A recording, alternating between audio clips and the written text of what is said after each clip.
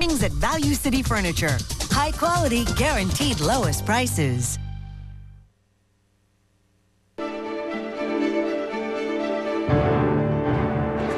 This is a CBS News special report. I'm Katie Couric reporting from CBS News headquarters in New York.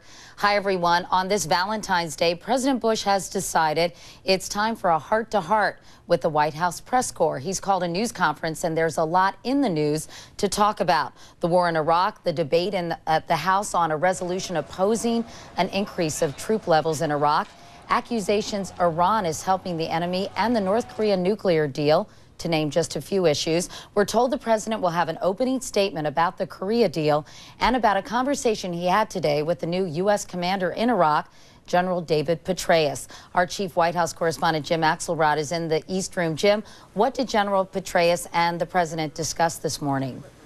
Well, Katie, now that General Petraeus has been on the ground in command for five, six days, there was a just a general read of the situation on the ground, but probably they, I imagine they got into some discussion of a program that Prime Minister Maliki is uh, announcing uh, in Iraq. Uh, it's known by a code name Imposing Law, and what it is is a crackdown. The Prime Minister is talking about, uh, establishing a system of checkpoints, uh, suspending gun permits, establishing curfews as well, that is designed to even impose martial law, the Prime Minister says, and the President will be talking about that, I'm sure, in his opening statement as he's walking into the room.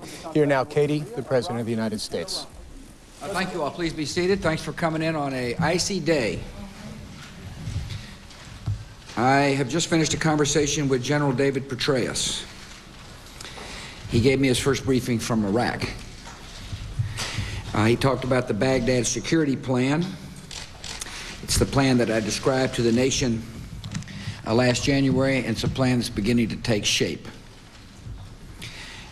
The uh, uh General Petraeus and General Odierno uh, talked about how the fact uh, that the Iraqi government is following through on its commitment to deploy three additional Army brigades, Iraqi Army brigades in the capital.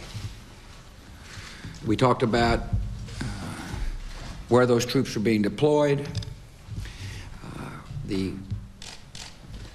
position of U.S. troops with them, as well as the embeds with the Iraqi troops, and we talked about the plan. Uh, he also talked about the new Iraqi commander.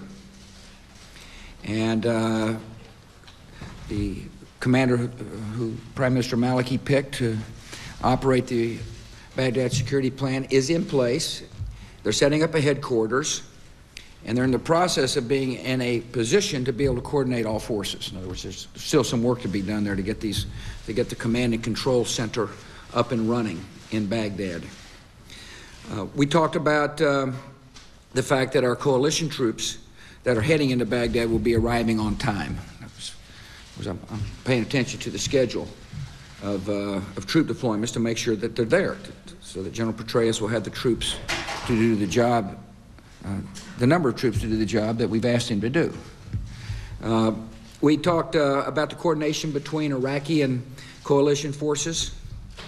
Uh, and I would, I would characterize their assessment as the coordination is good. Other words, good conversation, constant conversation between the commanders of, the, of uh, our troops and their troops, and that's a positive development.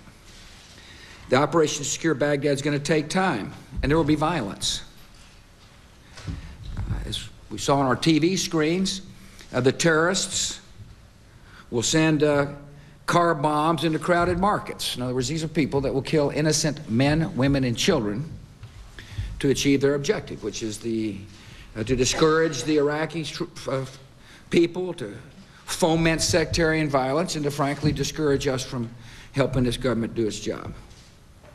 Yesterday there was a suicide bomber. In other words, there's an active strategy to undermine uh, the Maliki government and its uh, Baghdad security plan. And our our generals understand that. They know that they're uh, all aimed at, uh, at, frankly, causing people here in America to say it's not worth it. And I can understand why people are concerned when they turn on your TV, the TV screens, and see this violence.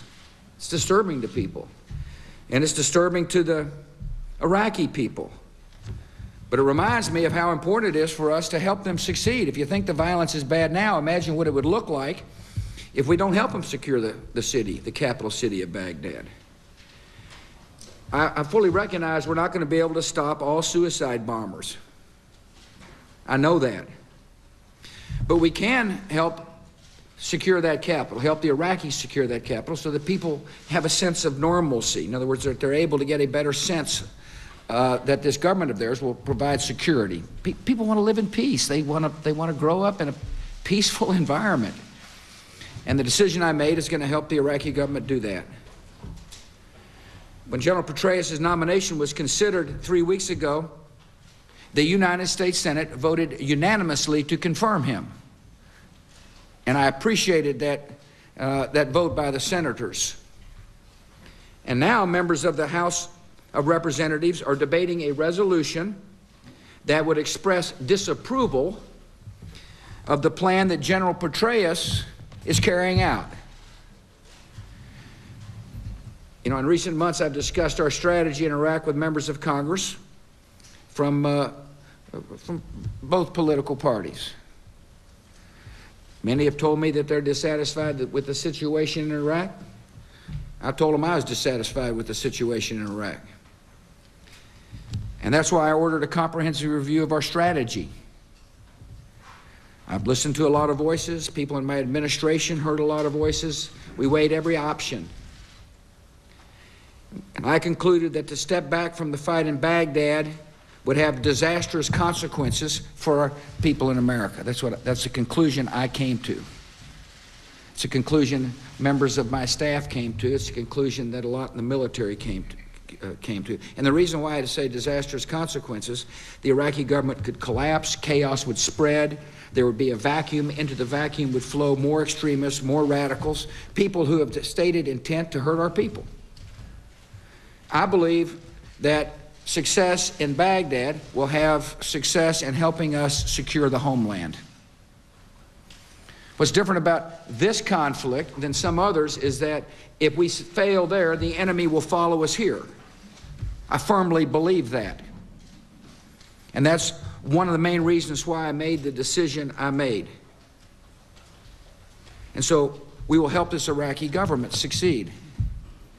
And the first step for success is to do something about the sectarian violence in Baghdad so they can have breathing space in order to do the political work necessary to assure the different factions in Baghdad, factions that are recovering from years of tyranny, that there is a hopeful future for them and their families. I would call that political breathing space. The, uh, and by providing this political breathing space, in other words, giving the Maliki government a chance to reconcile and do the work necessary to achieve reconciliation, it'll hasten the day in which we can change our force posture in Iraq. A successful strategy, obviously, a, successful security strategy in Baghdad requires more than just military action. The, um, I mean, people have to see tangible results in their lives. I mean, they have to see something better.